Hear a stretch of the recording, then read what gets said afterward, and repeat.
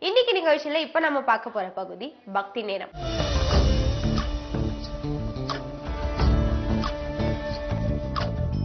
களி வந்த சிந்தையொடு உன் கடல் கண்டும் கலந்தருள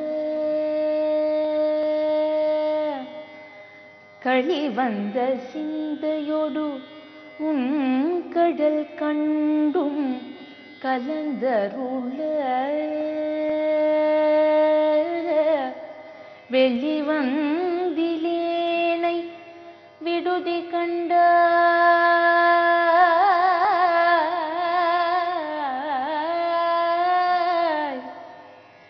வெளிவந்த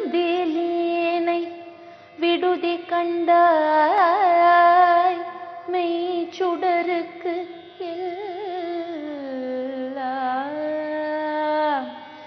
வெளிவந்திலேனை விடுதி கண்டாய்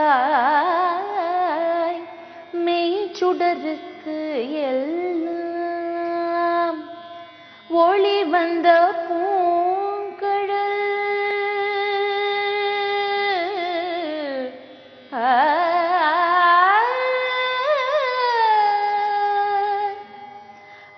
வந்த பூங்கழல் உத்தர கோச மங்கைக்கு அரசே. உத்தர கோச மங்கைக்கு அரசே எளி வந்த எந்தை பிரான் என்னை ஆளுடைய அப்பனே எளி வந்த எந்தை பிரான் என் ஆளுடைய அப்பனே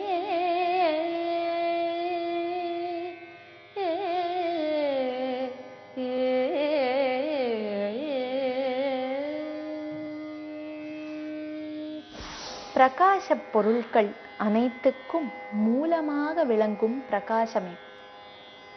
யாண்டும் எனக்கு அப்பனாக இருந்து என்னை காத்து அருள்பவனே. என்னை உண்மயமாக்குவதற்கு நீ எழுந்து அருளியதை நான் மகிழ்வோடு பார்த்தேன் என்றும் பார்த்து கொண்டிருப்பேன். ஆனால் உன்னில் கலந்து கொள்ள உலகை விட்டு வெளியேற நானோ ஆயத்தமாயில்லை. அத்தகைய என்னை நீ கைவிட நினைவும் கொள்ளாது. நீக்கிவிடவும் நீ எண்ணாதே. மனம் நலத்தை நாடுகின்றது.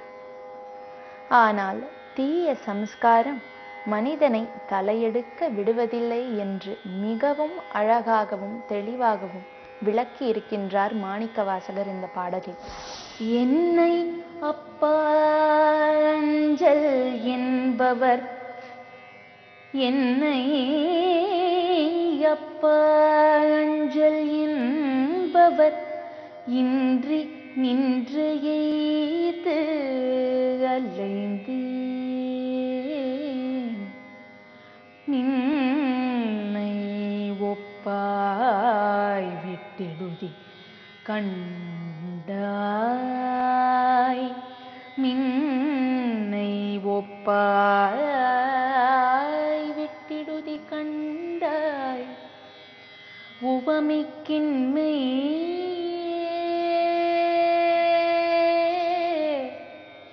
உவமிக்கின்மையே. உன்னை ஒப்பாய் மண்ணும் முத்தர கோச மங்கைக்கு அரசே.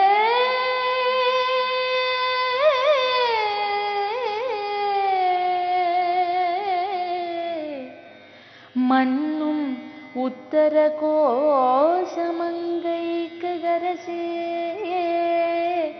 அன்னை ஒப்பாய் எனக்கு அத்தன் ஒப்பாய். என்னரும் பொருளே என்னரும் பொருளே.